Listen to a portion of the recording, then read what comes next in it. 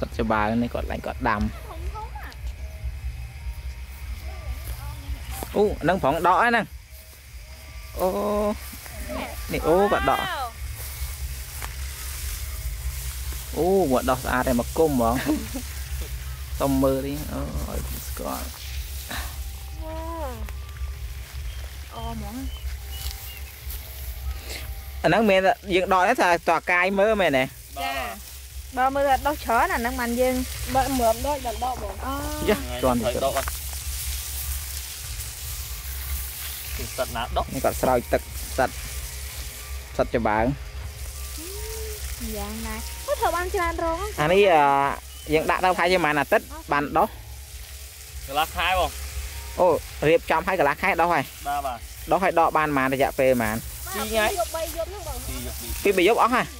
ะឈប់ដោះទៀតហ่ะបាទបាទអូមើលថានេះខ្ញុំដកទៅណាហ្នឹងគីឡូម៉ែត្រមិនទីហើយហ្នឹងទៅ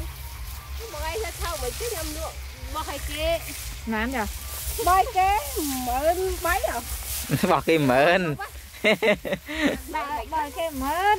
មើលមិនកាត់តែយើងលក់ស្រែណាតែយើង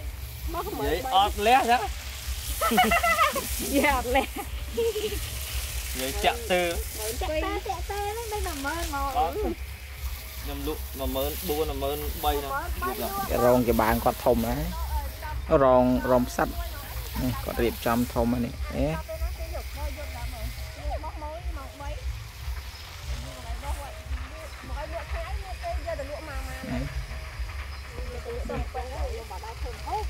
ពន្លឺប្រាក់ទឹកពេលល្ងាច សួរអ្នកធ្វើហូបអានេះទៅចំហុយពើងទាក៏បានថាក៏បានណៃគ្រប់ដល់ម៉ូតទឹកធ្វើអីកើតអានេះអាទួយទួយចឹងរយៈពេលប្រហែលធំ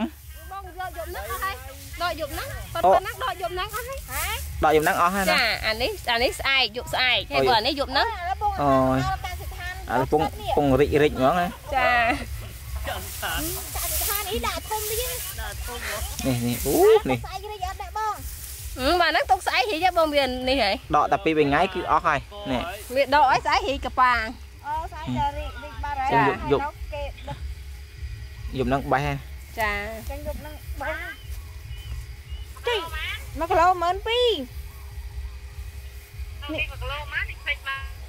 ហើយមើលមើលអ្នកលក់ហើយអី ទៅណាទៅណាដោះ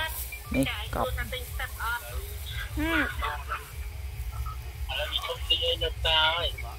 នេះពងដោះហើយឃើញអត់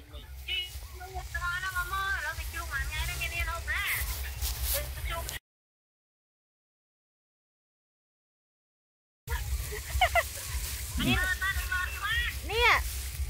នេះអូនេះតែនេះយើងយើងបេះអាមិនទាន់មកនៅកំពង់កំពង់ហើយស្អែកអត់រីកទេដឹងអាកំពុងតម្លៃលើហ្នឹងទៀតអូយនឹងស្អីពូគេទុកថាស្អែកឡើងឡើងស្អីគេដែរណាមើលតាមមិនដែរតែយ៉ាអូតែគេមិន